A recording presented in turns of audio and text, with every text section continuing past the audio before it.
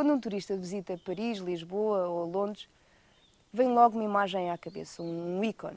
A Torre Eiffel, o Big Ben ou a Torre Belém.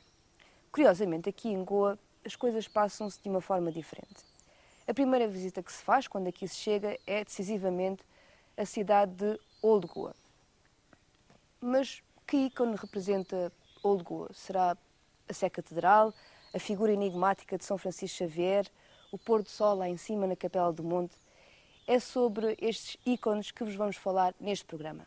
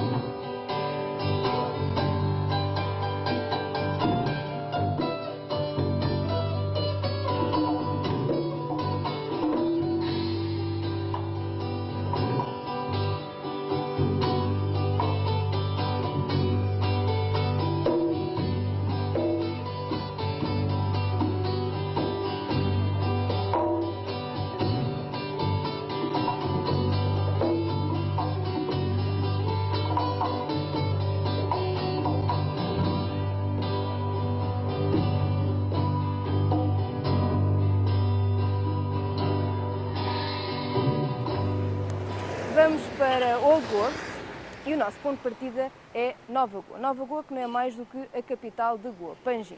Aliás, há uma grande confusão. Old Goa, Goa Velha, Nova Goa.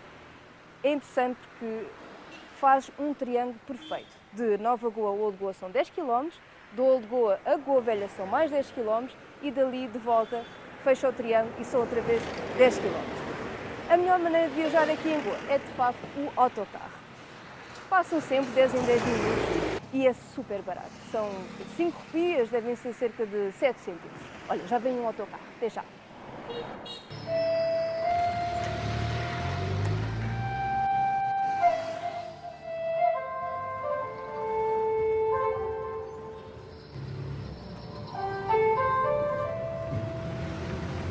Viajar de facto de autocarro é a melhor opção aqui. Os autocarros estão sempre a passar 10 em 10 minutos é uma forma também de, de, conhecer melhor o ambiente, as pessoas. Tenho aqui um rapaz aqui ao pé de mim, já estive a perguntar, ele também vai para Old Goa como eu.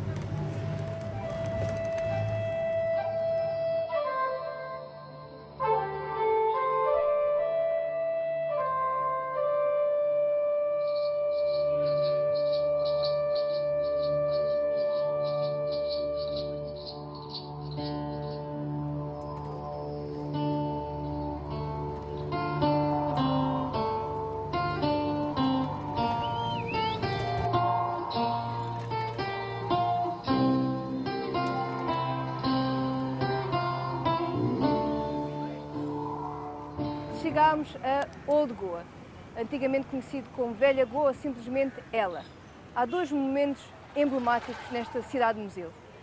A Sé Catedral, que foi construída com o intuito de ser a maior igreja da Ásia, e a Basílica de Bom Jesus, onde se encontram os, os restos de São Francisco Xavier.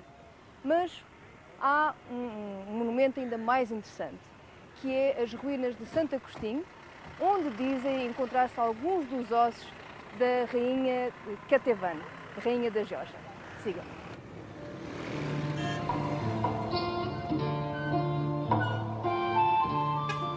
Aqui do meu lado direito vai aparecer a Sé e exatamente do lado oposto temos a Basílica de Bom Jesus.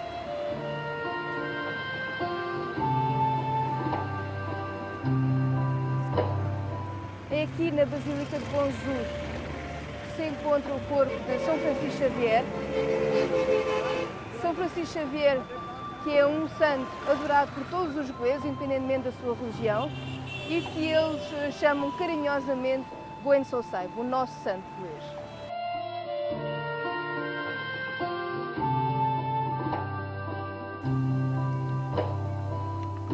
Deste alto assistiu Afonso de Albuquerque em 25 de novembro de 1510 à reconquista de Goa.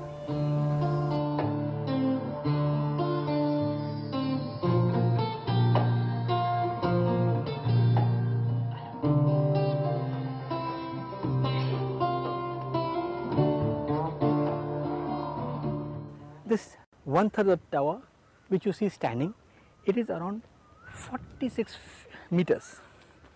Now what about the remaining part? As you know in 1834 there was a decree passed by the Portuguese where they had passed a decree that all the orders should be banished from old Goa but subsequently went and came back. But the Augustinian which were occupying this premises did not come back and since it is a very massive construction and it occupied a large area it need maintenance. So slowly because of vagaries of nature, because of rain, because of vegetation growth it slowly started collapsing and then in 18 in 1931 part of the facade main facade came down. So you can see two materials that have been used one is the raw material proper which is of laterite and then this is the basalt which they have used which they must have got from basin near Maharashtra. You see the raw material, it looks completely eroded, weathered, exfoliated and lot of cavities have formed because this was covered with lime plaster. If you cover the lime plaster, cover the core with the lime plaster, it is protected from the vagaries of nature, the rain, the monsoons, the wind and the saline activities. But since this covering was removed or it got weathered, the inner core was exposed.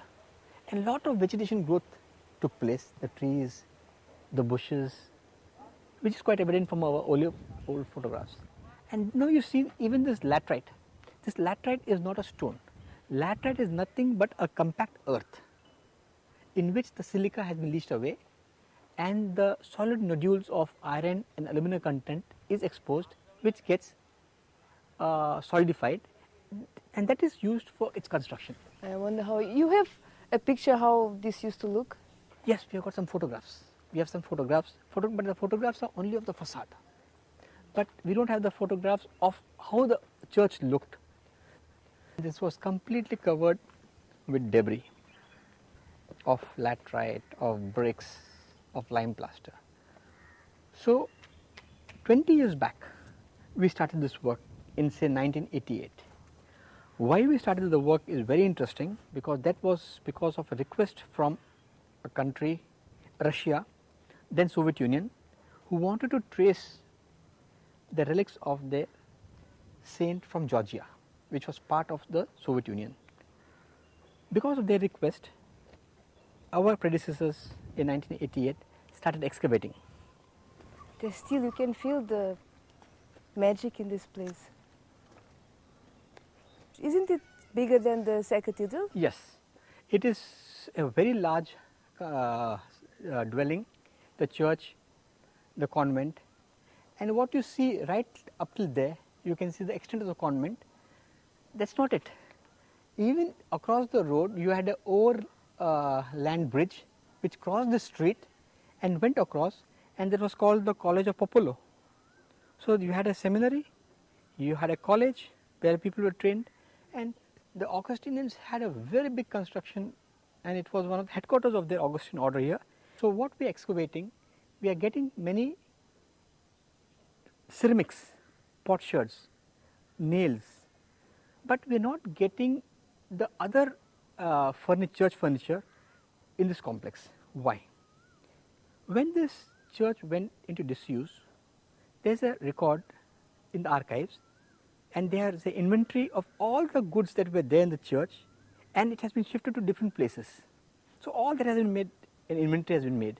The most classical example is the bell.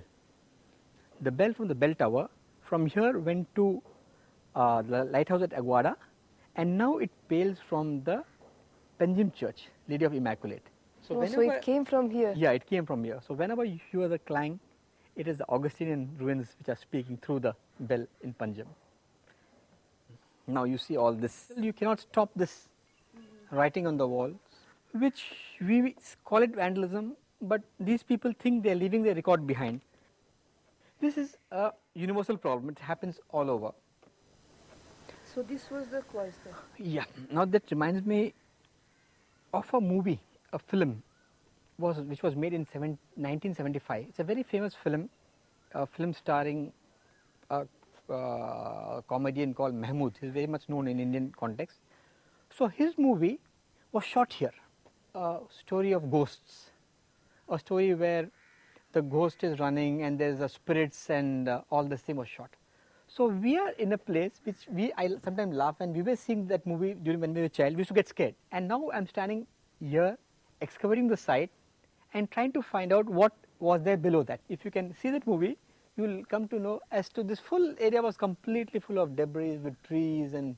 This must be real scary in the night with all these ghost stories that you hear. Well, not scary in the sense, it looks very good if you come here. If you have a strong mind, if you don't think of ghosts when you're coming here, you really enjoy. Especially in the evening, it's just very lovely. And if you have a full moon. Our intention here was not to discover or identify or work on the hypothesis of this Russian queen as they are, as it was called then. We just wanted to open this area so that the more people can visit and we will study the ground plan of this area. We were excavating, we came down, we came across this tombstone, a coat of arm having a knight, a tree, Manuel de Siqueira de Matos, Almeida. Its reading which was done by our, one of our exchange student from Portugal.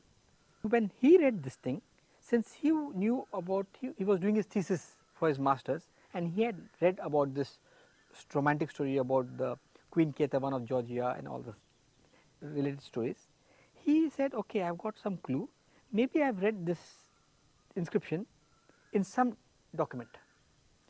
So, went to the do documents of Silva Rego, which is published in 12 volumes.